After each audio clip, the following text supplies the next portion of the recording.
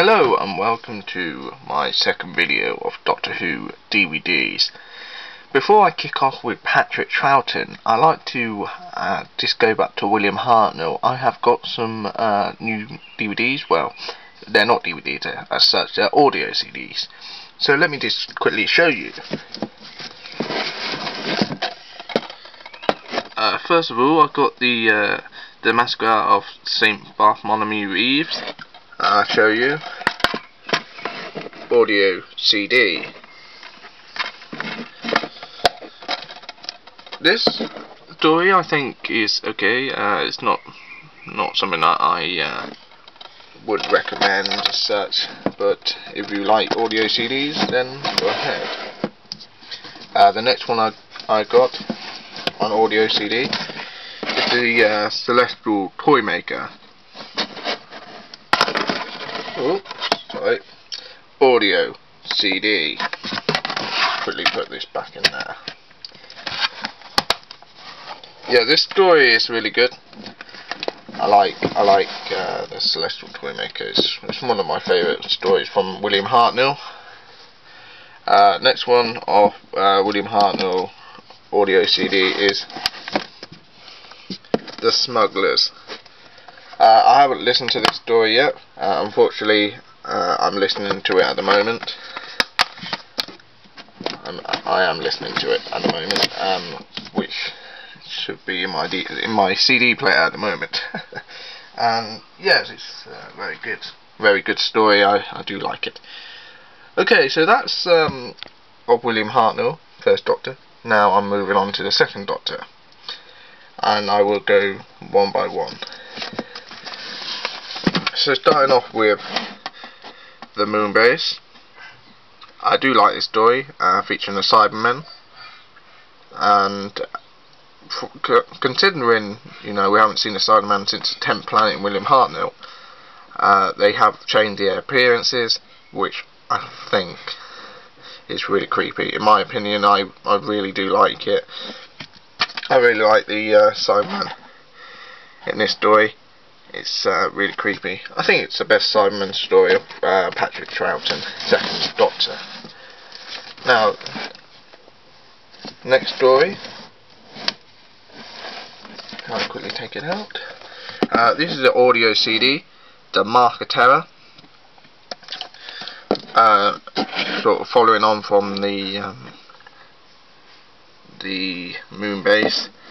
This story, I do like it very creepy at some at some times. Good cliffhangers at the end of sort of the episodes. And I do like the monsters, you know, the claws. Unfortunately, you've got to sort of imagine it as it's audio CD. Unfortunately, we can't see it on on sort of the telly. There's some little sort of telly snaps of it on YouTube, but unfortunately, it's not the same as it's lost from the BBC archives. So that's Macra Terror. Next one is the uh, Faceless one. Now, this story, um, I was sort of having some sort of doubts about it when I first got it, because one, it's based in Heathrow, and two, the story is based, you know, or, or on, on planes, but, uh, you know, this, when I first listened to it, if I can show you audio CD, when I got this, I thought, do I really wanted it in the first place? And and when I listened to it, it's really good. I really enjoyed it. Um, the end, I never expected the end. I never expected it to be that sort of ending. So yeah, it's it's uh, if you haven't listened to it, I recommend you listen to it. It's quite a sad ending, but I wasn't expecting that.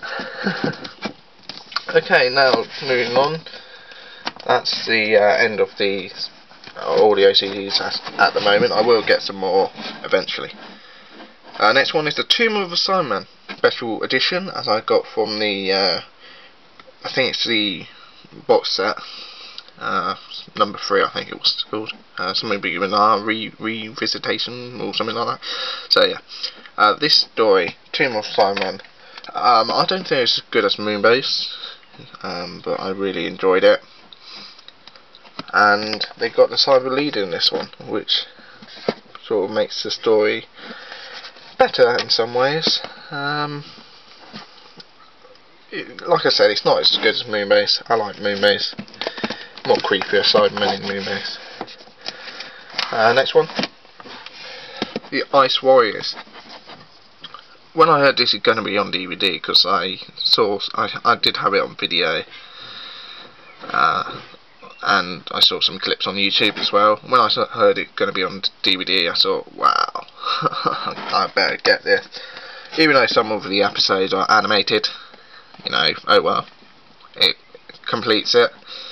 So, uh, yeah. But the Ice Warriors, um, I do like this story, but unfortunately, I'm not a fan of the Ice Warriors. You know, I don't find them that too scary. But the voices, you know, the voices for the Ice Warriors, that that makes it a bit more creepy. but the Ice warrior is not really my favourite story. Right, next story I got is the uh, enemy of the world. Uh, I do like this story. Uh, Salamander, played by Patrick Troughton, and Patrick Troughton plays the Doctor as well. So this story, very good. Um, probably one of my favourite stories in the Patrick Troughton era, and I do like it. Uh, next one is The Web of Fear, uh, the recent sort of release of Doctor Who, The Web of Fear. Uh, this is the first sort of, uh, well, it's not the first story of the Yetis, but it's the first sort of DVD I got of the Yeti in my collection and this is really good. I do like the Web of Fear. I like how it's all based underground in the London Underground, and it's absolutely great. Great story, great plots, and of course the Doctor, the Brigadier. Everyone actually played a good part in this story. Um, but would I call it my best one? Yeah, maybe. Yeah, let's say it's my best one. uh, next one. The Dominators. Um, now this is where it sort of lost its plot. I don't really like the story. Um, it's sort of a bit cheap. It's a bit cheesy at sometimes. I don't like it. And now I will continue in part two.